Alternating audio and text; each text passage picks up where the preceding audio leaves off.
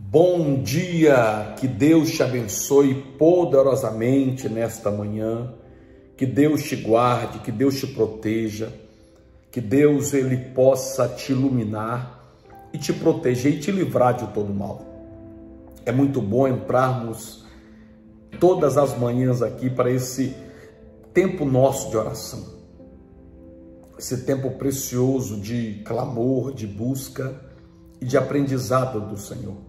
Se você não é inscrito, se inscreva no nosso canal. Se você porventura ainda não é, deixou o seu joinha, deixa o joinha para o YouTube entregar para mais pessoas essa nossa palavra. Amém? Eu quero deixar um texto com vocês antes de orar que Deus está queimando no meu coração para falar com vocês. É Jeremias 3,15. Lá diz assim: E dar-vos-ei pastores segundo o meu coração, os quais vos apacentarão com ciência e com inteligência. Então repara que aqui Deus está dizendo que quem nos dá os pastores é o Senhor. Pastor é um chamado específico de Deus. Pastorear é um chamado do Senhor. E quando você tem um chamado, você vai exercê-lo. Agora é importante nós entendermos que pastor não é super-herói. Pastor não é super-homem. Pastor precisa de ajuda. Pastor precisa de apoio.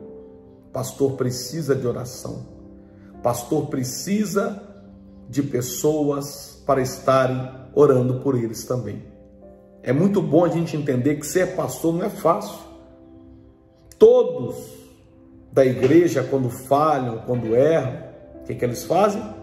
Procuram o pastor para pedir um conselho, para pedir uma ajuda, para pedir uma orientação. E quando o pastor erra e falha, ele vai procurar quem? É importante nós estarmos prontos para ajudar os nossos pastores, para orar, para abençoar. E pastor tem que estar ligado em outros pastores tem que estar debaixo de uma cobertura espiritual, tem que estar debaixo de uma liderança, porque não é fácil ser pastor, não é brincadeira ser pastor. Pastor também precisa ser pastoreado e ministrado. Pastor também é alma que precisa de oração, ministração e conselhos. Pastor também tem sentimento. Pastor também chora. Pastor também sofre. Pastor também tem o sentimento às vezes da ingratidão. Muitas vezes o pastor ajuda uma ovelha, ora por aquela ovelha, abençoa aquela ovelha. E às vezes aquela ovelha desaparece do rebanho, desaparece da igreja, não fala nada com o pastor. Eu sou pastor de pastores, eu atendo pastores, eles me contam. Tem pastor que diz: Pastor, a ovelha parece que virou minha inimiga, porque não me responde mais, não atende as minhas ligações. Parece que eu me tornei inimigo. Então, tem pastores que ficam chateados. Eu já vi pastor entrar em depressão porque ovelha saiu da igreja. Isso é muito sério. Eu quero dar uma palavra aqui tanto para os pastores quanto para as ovelhas. Você que é ovelha de um rebanho, honre o seu pastor. Valorize o seu pastor. Pergunte como ele está. Pergunte se ele precisa de alguma ajuda. Isso é muito importante. Às vezes, a atenção que você dá ao seu pastor já acrescenta muitas coisas no coração dele. Então, valorize o seu pastor.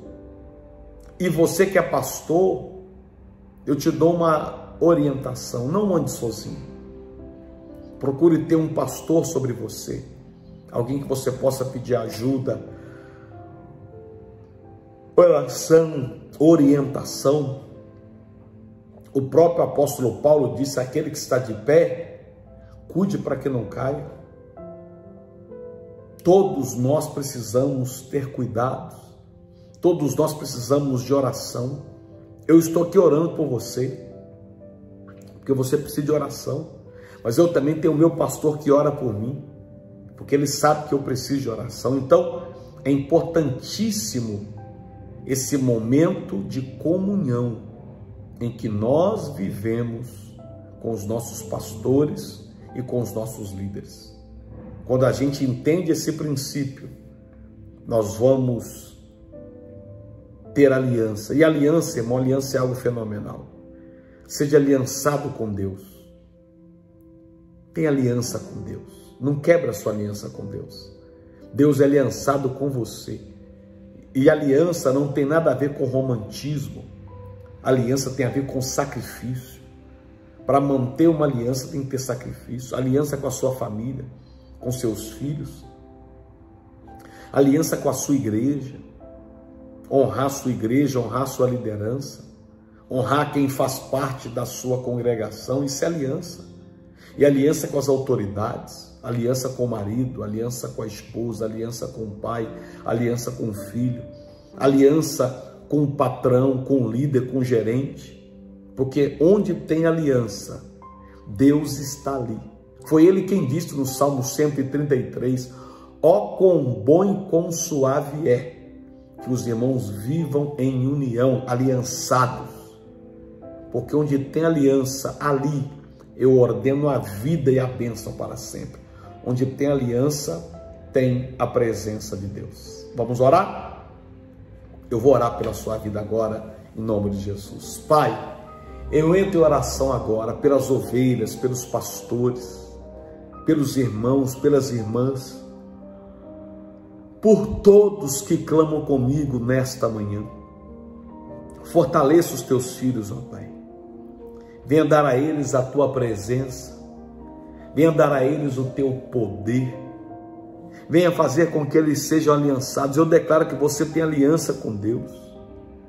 Você tem aliança com a sua família. Você tem aliança com a sua igreja. Você tem aliança com as suas autoridades. Satanás ele não quis ter aliança e andou sozinho e virou Satanás. Seja aliançado e seja junto. A autoridade não é levantada por Deus para falar o que a gente quer ouvir mas a autoridade é levantada por Deus para falar o que a gente precisa ouvir. Eu abençoo a sua casa, abençoo a sua família, abençoo os seus projetos, abençoo os seus sonhos e profetizo um tempo novo da parte de Deus para a sua vida nesta manhã. Portas abertas, milagres acontecendo, vitória chegando em nome do Pai, do Filho e do Espírito Santo de Deus. Amém, Jesus. E graças a Deus. Amém? Que Deus te abençoe poderosamente. Pega o link dessa oração, envia nos seus grupos de WhatsApp.